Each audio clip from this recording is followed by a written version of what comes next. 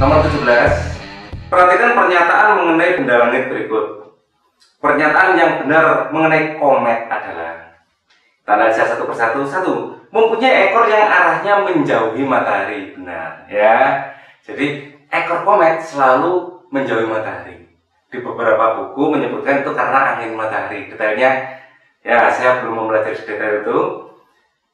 Nomor dua, melakukan tiga gerakan sekaligus. Nah, kita lewati dulu ini. Tiga orbitnya elips dan sangat lonjong. Nah, ini pasti benar ya.